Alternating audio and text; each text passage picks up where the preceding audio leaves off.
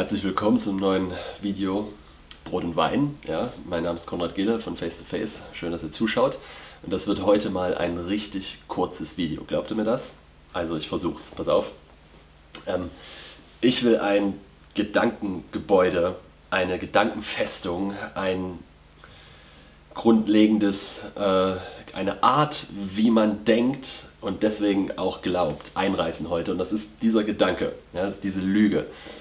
Wenn ich keine Fehler mache, bin ich erfolgreich. Hahaha. okay, kannst du mal fett drüber lachen, weil denk mal drüber nach, was passiert, wenn du so denkst.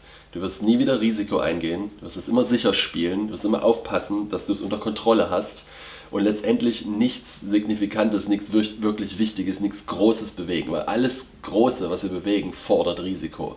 Alle Leute, die was Großes bewegt haben, haben davor zigmal versagt und haben es immer wieder versucht und immer wieder versucht und sich nicht aufhalten lassen. Ja? Und haben einfach jeden, jedes Mal, wenn was nicht geklappt hat, gedacht, okay, jetzt weiß ich, wie es nicht geht ich bin schlauer als vorher und gehe weiter. Ja, ähm, Steve Backlund hat mal äh, eine Geschichte erzählt, oder dieses Beispiel genommen von einem Fußballteam. Ja, wir sagen mal, wir spielen zweite Liga und äh, gewinnen jedes Spiel mit unserer Mannschaft, jedes Spiel. Und dann steigen wir natürlich auf in die erste Liga, wenn man jedes Spiel gewinnt. Und auf einmal gewinnt man nicht mehr jedes Spiel. Und das Ding ist, obwohl man mehr verliert als vorher, ist man trotzdem erfolgreicher als vorher. Ja, und die Fehler definieren nicht unbedingt oder die, die, die Dinge, die nicht klappen oder die scheinbaren das scheinbare Versagen definiert nicht unseren Erfolg. Und unser Erfolg ist im Glauben. Deswegen sagt Jesus, fürchte dich nicht. Ja, glaube nur. Die beiden Dinge stehen sich gegenüber. Man kann nicht Jesus glauben und gleichzeitig in Furcht lass mich anders ausdrücken, man kann sich fürchten und Jesus glauben und, sich, und nicht der Furcht gehorchen, sondern überwinden. Das geht. Aber du kannst dich nicht, kannst nicht der Angst glauben, weil es auch eine Form von Glauben ist, nämlich Glauben an das, was alles nicht klappen könnte, Glauben an das, was alles schief gehen könnte, Glauben daran, wie nicht genug da sein wird, wie die Finanzen nicht reichen, Glauben, wie keine Leute zur Verfügung stehen. Das alles auch Glauben, aber er ist Furcht fokussiert. Ein Angst, es ist ein Glauben an Negatives, während fürchte dich nicht, glaube nur, glaube Jesus, der sagt, ich bin dein Versorger, ja, ich kümmere mich um dich, ich bin dein Papa, selbst wenn du, selbst wenn du singst, hole ich dich raus, ja, ich äh, helfe dir, ich freue mich über deine Glaubensschritte, selbst wenn sie nicht, selbst wenn sie mal nicht klappen. Ja, ich freue mich über deinen Versuch, mir zu vertrauen, mehr als über den Erfolg. Und hier müssen wir feststellen, dass äh, dieser Perfektionsgedanke, alles richtig zu machen, der nämlich auch da drin steckt. Ja, das eine ist, wenn ich keine Fehler mache, bin ich erfolgreich. Das andere ist, ich muss alles immer perfekt richtig machen. Äh, das ist auch eine Lüge. Das ist auch einfach nur eine Bindung, etwas, was uns gefangen hält, weil Perfektion sagt, ich muss der Beste sein, während Exzellenz sagt, ich gebe mein Bestes. Ja, Exzellenz ist vom Reich Gottes, Exzellenz ist von Gott, Perfektion ist vom Teufel, Perfektion ist ein Joch, was uns zerbricht und kaputt macht. Also will ich dich ermutigen, ja, weil ich glaube, dass wir in einer Zeit der Veränderung sind und dass Gott Dinge umstellt und dass Gott uns rausholt, teilweise aus Gutem heraus.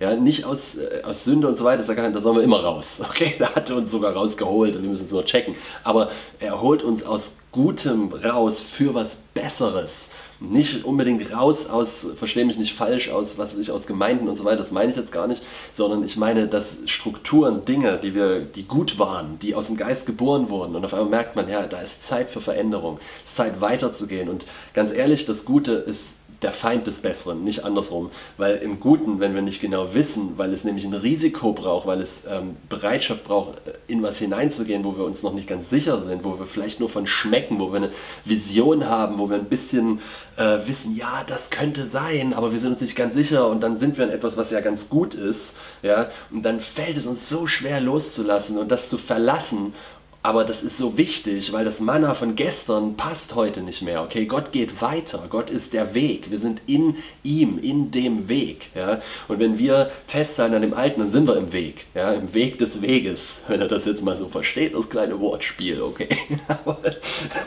aber in Christus geht es immer weiter. Es ist, ein, es ist beweglich und Veränderung ist unser Freund. Und das Ding ist, dass Furcht uns hindert, da hineinzugehen. Furcht ist, was uns aufhält. Furcht zu versagen, Furcht Fehler zu machen. Und ich will dich ermutigen und sagen, hey, mach, hab keine Furcht, Fehler zu machen. Paulus, lass es uns nicht zu sehr vergeistlichen. Ja, manchmal warten wir und warten auf das Wort des Herrn, wo es lang geht und so weiter. Wusstest du, dass Paulus nicht mal so drauf war in der Apostelgeschichte? Wo ist es 16? Ja, da, da, er, Paulus wusste, geht in alle Welt. Also ist er losgegangen. Ja? Und dann hat der Heilige Geist, heißt es in Apostelgeschichte 16, hat ihn verhindert. Der Heilige Geist hat gesagt, okay, ist, du bist im Glauben hier losgegangen auf das Wort, auf das Prinzip, geht in alle Welt, auf das Wort, was Gott gesagt hat, aber hier geht es jetzt nicht lang.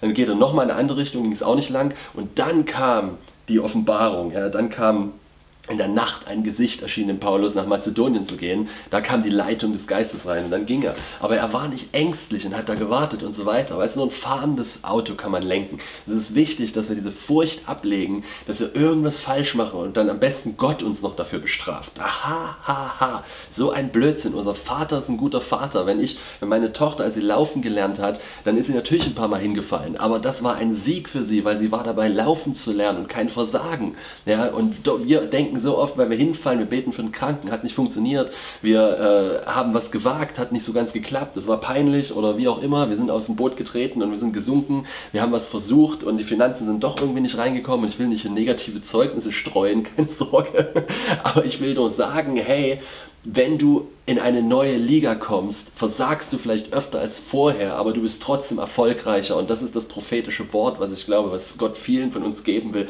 sagen will, weil, weil ich habe den Eindruck, mehrere Leute treten raus, wagen Dinge, kommen aus ihrer Komfortzone, kommen aus dem, was sie kennen, kommen auch aus guten Sachen raus, weil sie denken, da geht es weiter, Gott hat mehr, ja? es, es, ist, es, es bewegt sich was und stolpern vielleicht ab und an in diesem Neuen. Ja? Oder Dienste, die Sachen anfangen, wir bei Face to Face, wir sind experimentierfreudig, wir fangen vielleicht was an, merken wir, nee, läuft nicht mehr, dann hören wir es wieder auf, na und, ist doch nicht so schlimm. Dieses Perfektionismus-Ding, ja, muss weg, diese Furcht zu versagen, muss weg, dieses Denken, was, wenn es schief läuft, muss weg. Wenn du ein Wort hast für jemanden, dann denk nicht, was, wenn es nicht stimmt, denk, was, wenn es stimmt. Das ist ein Riesenunterschied. Ja, das ist, das ist, fürchte dich nicht, glaube nur. Nicht, geht nicht beides. Kannst nicht, kannst nicht beides machen, steht gegen über, ja, gegensätzlich, Furcht und Glaube. Und ich will euch ermutigen und über, ich will einfach proklamieren über euch, prophezeien über euch, dass du nicht im Versagen bist, sondern du bist in einer neuen Liga.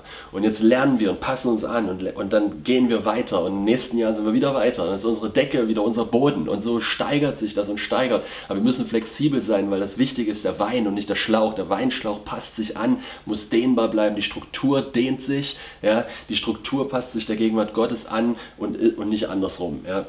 Und das äh, ist gut, oder? Das ist eine gute Botschaft. Fürchte dich nicht. Veränderung ist dein Freund. Es ist gut, was ist. Tritt hinaus und wenn du ein paar Mal fällst, steh wieder auf, geh wieder weiter. Es ist eine neue Zeit. Es ist eine Zeit, wo wirklich was in Deutschland aufwacht, erwacht und wo die Gemeinde erwacht und wo es wirklich vorangeht. Und äh, ich hoffe, das war jetzt immer noch kurz. Ich segne dich, ich bete dafür. Ich bete, wenn du unter Menschenfurcht leidest, wenn du immer wieder diese Gedanken hast, ah, es wird nicht klappen oder Angst davor hast, dass es klappt, dass es nicht klappt und du deswegen nichts wagst, nichts versuchst oder dieses hypergeistliche, ich äh, warte zehn Jahre, bis der Herr mir irgendein Wort gibt und so weiter. Es gibt genug Worte hier drinnen, Amen, auf die du gehen kannst und wenn sie falsch waren und du sensibel und offen bist für Gott, einfach weil du ihn liebst und das bist du ja, sonst würdest du ja nicht warten auf ihn, ja, dann wirst du schon merken, dass es da nicht weitergeht und dann kommt irgendwann, pff, die Vision vom Himmel und dann weißt du genau, wo es lang geht. Aber, aber dieses, dieses, ah, dafür bete ich jetzt, okay, das ist, was ich eigentlich sagen wollte. Jemand hat mir letztens gesagt, ich rede zu schnell. Ich gebe mein Bestes. Ich, ähm, ich schaff's einfach nicht. Hahaha, ha, ha. ich, egal. Jesus. oh Jesus. Oh Jesus. Vater, ich breche jetzt dieses Joch der Perfektion über jeden, der mir hier zuhört und der es will. Öffne einfach mal deine Hände, wenn du unter Perfektion, Menschenfurcht, und immer wieder dieses negative Ding, ich kann nichts, was, wenn es nicht klappt und so weiter. Wenn du darunter leidest, öffne einfach mal deine Hände, wenn du es loswerden willst. Und in Jesu Namen, Heiliger Geist, danke ich dir, dass du jetzt dort reinkommst und ich breche dieses Joch der Perfektion und der Menschenfurcht jetzt in Jesu Namen. Und ich danke dir, Heiliger Geist, dass du jetzt eine Freude schenkst und ein, eine Freude auch an Veränderungen und dass jetzt alle Furcht geht, alle Angst geht, eine Freude zu experimentieren, eine Freude, Dinge auszuprobieren, voranzugehen. Dieses diese auch Identität setze ich frei. Identität ist nicht in unseren Werken, deswegen können wir sie auch mal lassen. Wenn sie nicht mehr funktionieren, tun wir sie einfach weg. Ist nicht schlimm, ist nicht wer wir sind. Und in Jesu Namen setze ich das jetzt einfach frei und danke dir. Empfang das jetzt einfach und nimm das im Glauben. Danke, Heiliger Geist. Danke, Jesus. Danke fürs Zuhören. Genießt die Herrlichkeit Gottes. Amen.